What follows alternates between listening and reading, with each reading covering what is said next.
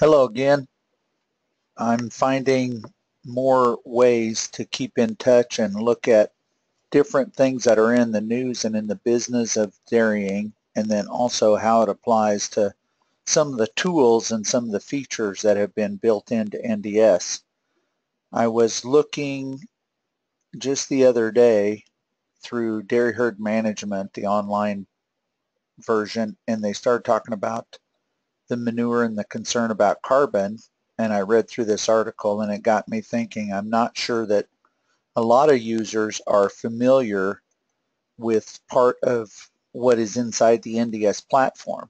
So if we go to NDS and we look at a recipe, you're all familiar with the recipe screen and I can hover over the boxes and use the what I call the Charlie sniffing function. Charlie asked for this feature to blow this up and so I can blow up different portions of the screen here.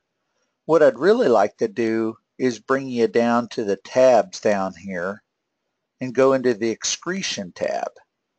Now if we look at excretion tab you can see that for this diet at uh, the ingredients that we have in and the 54.8 or 55 pounds of dry matter intake, it is actually predicting what we're going to see in the manure. We can see the fecal excretion and the wet manure and we can see the nitrogen in grams and the phosphorus in grams and then as we look over here it's going to give you the fecal composition according to your inputs, the digestibilities that we have entered in on starch and fiber, um, and also looking at the passage rate for increasing dry matter intake. Again, when we increase passage rate, we decrease digestibility. But this animal is being at uh, 55 more or less uh, intake right here. You can see these values down below over here now, I don't know if I get a blow up over here. Yeah, here we go. So now we've got some total, some nitrogen efficiency numbers in different parts of the of the um, country are really paying attention to this, the Northeast, um, the Southwest. So you can actually see, and again, down below you can see the um, right over here, it's the expected or the current production. I have expecting 82 pounds. I'm getting 82.8, so it doesn't mean a whole lot here, but you can see that current production, current expected production in the lower left hand of our pop-up screen here. But it gives you an idea of what your nitrogen efficiency numbers look like. And then it also comes over here and it gives us those those values here on on methane production per this animal. So once we have that, in light of some of this information uh, that's hitting the press about what this is a per cow snapshot, but there's another function within NDS that we can print and look at farm reports. So I'm in this dairy here. I'm going to go to my main screen, going to go to my recipes, and then what I may do is just go down to that dairy and right mouse click. As I right mouse click on the recipe list for the dairies I have, and this again is another aspect of using the farm structure to organize your recipes and your rations so that each each recipe that you feed on a farm has a pin assigned to it and then you can have that current ration in there.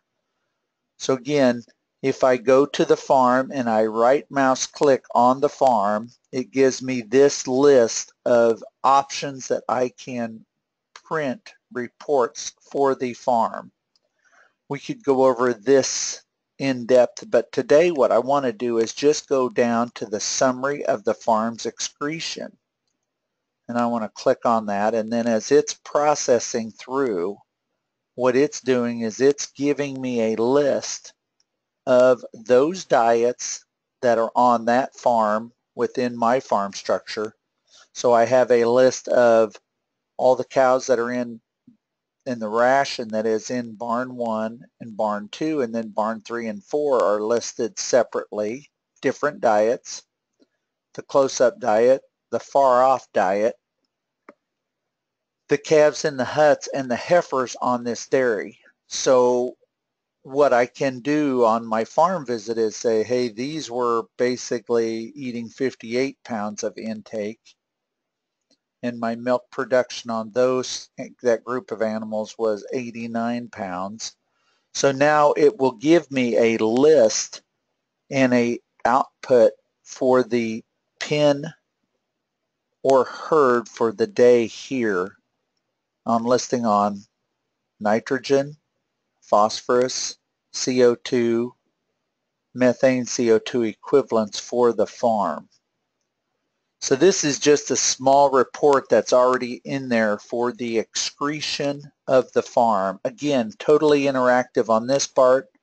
Today we had 250 head here and we had 200 here. So anything in yellow we can change.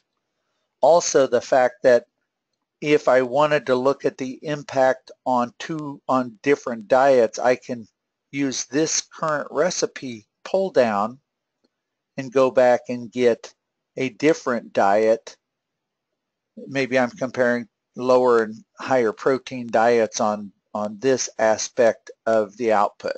So I can go back and get different recipes if I wish, different numbers, different intakes here. So again, this is just the total excretion right here for pen, herd, and um, for these outputs that we already have.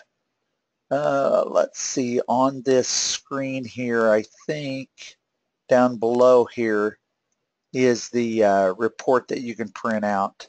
You can do that on a, an Excel, a um, uh, report here and you can get that data in a report form uh, as needed.